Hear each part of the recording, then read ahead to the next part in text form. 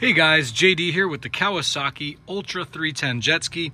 What I'm about to show you here will apply to any Kawasaki Ultra or STX jet ski. And this is adding a sacrificial anode to the jet pump.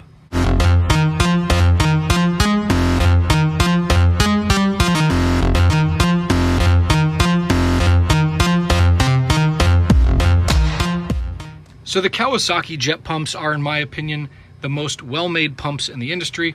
I've done videos on this before, and this is evident just from looking at the pump.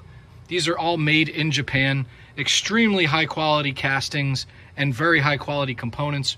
Just looking at the pump itself, you can see these are so substantial. They almost look like the Berkeley pumps you'd see on a full-size jet boat. Really a, a heavy-duty pump. So Kawasaki jet skis do not come with any type of sacrificial anode on the pump.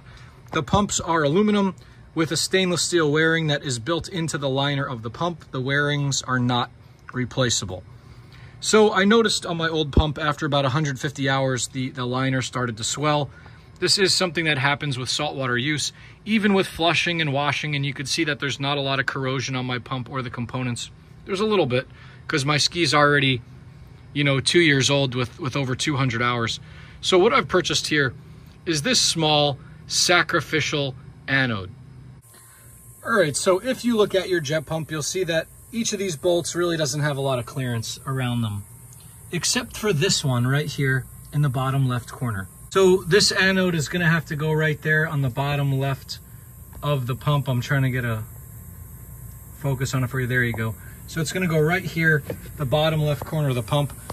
This is a 25 millimeter anode and I drilled the hole out to 3 eighths so that it accommodates the factory bolt. Now you will need a slightly longer bolt than the factory bolts, and that's to accommodate the extra spacing of this anode. You can see I've roughened it up.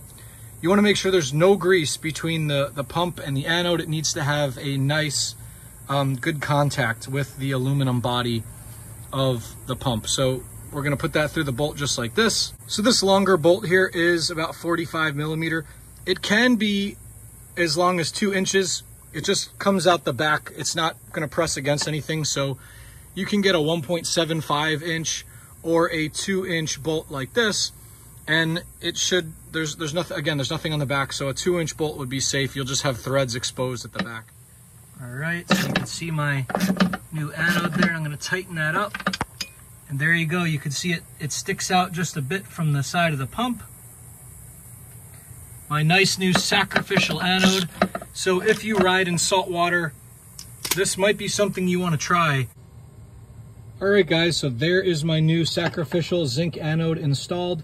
Um, this is a Sea-Doo part number. Check the description. I'm going to give you the part number for this. You will have to drill out the center of the anode so that it will accommodate the Kawasaki bolt. And then you're going to use a slightly longer bolt to accommodate the extra thickness of that anode.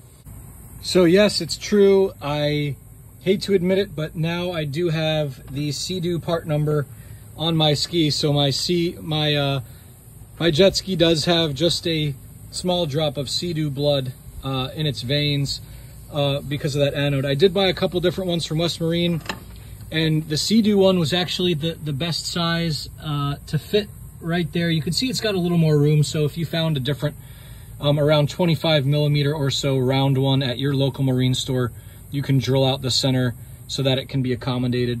Um, I just, I chose to go with that Sea-Doo part number that I am going to show you again in the description because it's easy to source um, and it's it'll be easy to, to change it out. Um, it's about $20. So why does the Sea-Doo come with an anode and the Kawasaki's don't? Well, that's largely due to galvanic corrosion that's generated as the result of the closed loop cooling system on the Sea-Doos. The Yamahas and the Kawasaki's, um, as far as I know, the Yamahas do not have an anode on the pump. I feel that adding that sacrificial anode to the pump will protect my pump from swelling and, uh, and will prevent um, excessive corrosion from forming on the housing itself. Remember that with any anode, you want it to be contacting the metal surface directly, no grease or insulator between that anode and the surface. And then um, basically I'll keep checking that anode and when it starts to wear, that'll, uh, that'll be my, my indication that it's time to be replaced. So again, in this case, just to take a step back, I removed my step and I removed my reverse bucket. On a 2022 Plus Ultra 310, you will have to put the ski into maintenance mode to extend the reverse bucket actuator in order to remove this quick connect coupler. I have videos on how to do that. If you have a pre-2022 uh, Ultra 160, Ultra 310, or STX, eh, current model STXs as well, you can just remove this manually without having to do any type of maintenance mode and you can add that sacrificial anode to your jet pump that's going to be used in salt water. Well, I hope this was helpful and uh, I, I can't report the results back yet, but I do hope that by adding that anode, it will protect my jet pump components from saltwater corrosion.